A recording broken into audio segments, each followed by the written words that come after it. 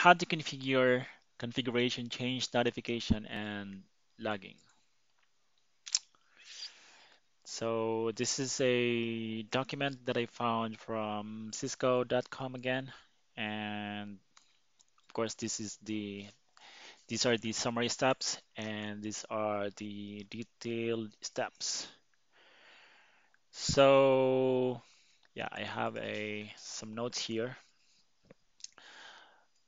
Uh, the configuration change notification and logging feature added in Cisco iOS software release 12.3.14 later makes it possible to log the configuration changes made to a Cisco iOS device.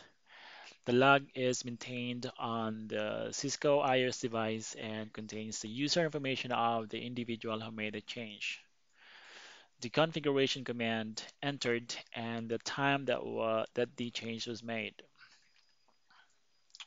This functionality is enabled with the uh, logging enable configuration change logger configuration mode command. So that would be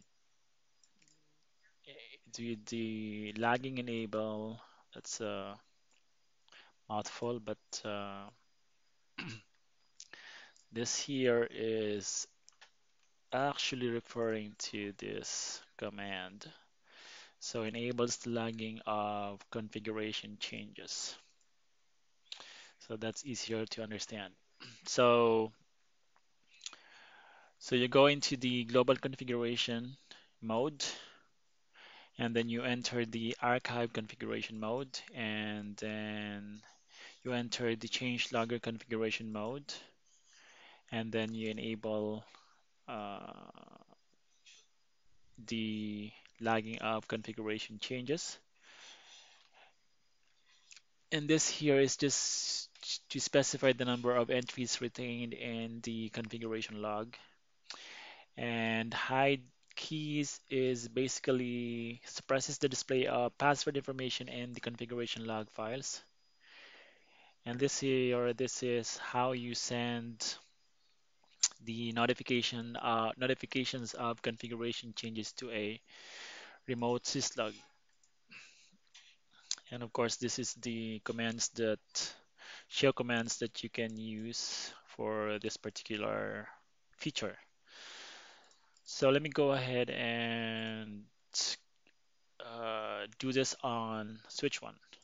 So I'm going to switch one, just go into enable mode and then configuration mode, archive, then go to config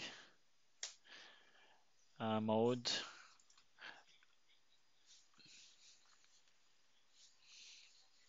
Yeah, config mode, archive config mode, uh, configuration ch change logger mode, or config change logger configuration mode. And then this is how you enable it.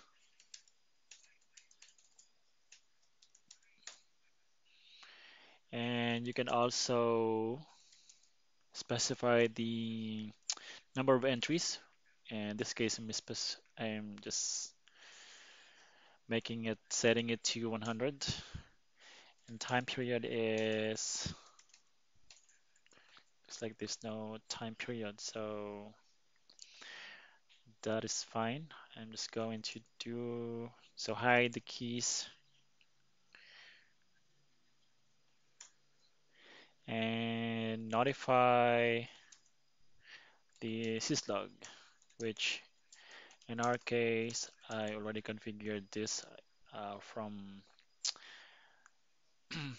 uh, earlier, so I can just double check that. So this is our syslog server. This is just an example, of course. And that's it. So you can just double check your config. Yeah. So archive log config logging enable uh, content type plain text. Okay.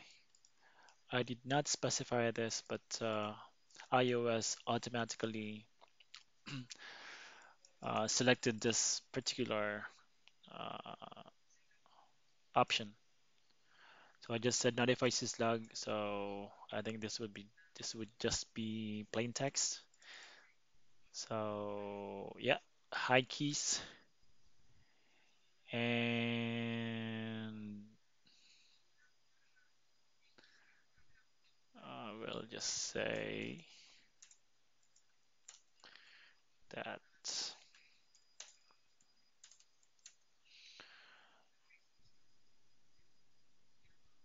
And let me also do this command here. Archive. So in this particular version, uh, we don't have a an option to specify the time period. Um,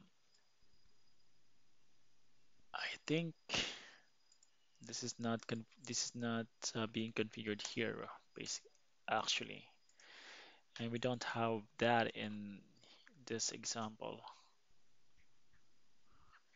So yeah, we can remove that uh, option.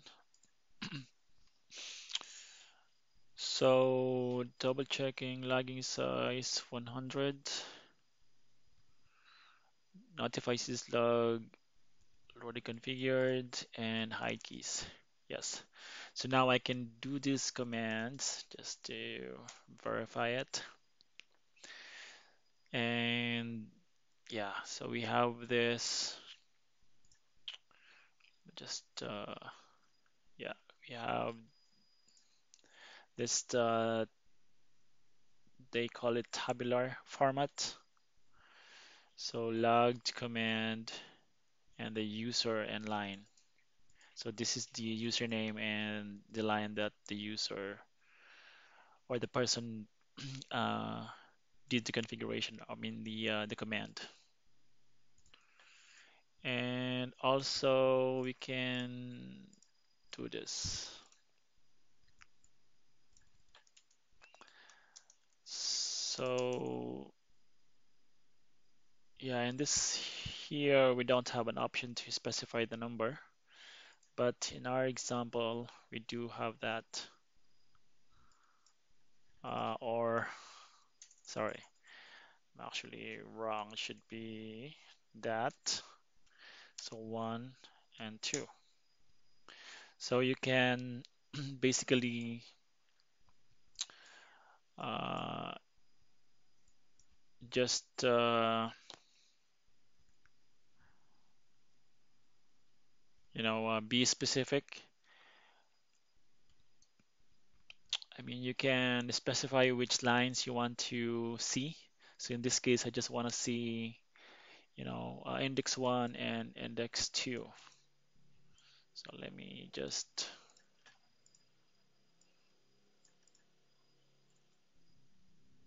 yeah, it's actually correct.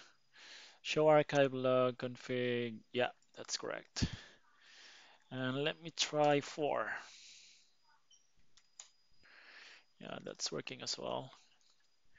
And this here, this is basically another option that you can do. So use this command to display all configuration log files as they would appear in a configuration file rather, rather than in tabular format. So yeah, we can do that. So in this particular, so we just configured Uh, I mean, we just made these changes, so that's why we have uh, this change. This display also shows the commands used to, to change configuration modes, which are required to correctly apply the log commands. Shows the commands used to change. Oh, okay. Yeah, that makes sense. This which are required to correctly apply the log command. Okay. And the last one is this, or this here. This command to display, use this command to display memory usage information uh, for the configuration. So now it is 3,914 bytes memory being held. And this here, total memory allocated for session tracker tracking. And uh, also this you can see and other things which I will not uh, discuss. Um, yeah, I think this is pretty much self-explanatory. So that's fine. All right, yeah, that's how you can configure configuration, change notification, and logging.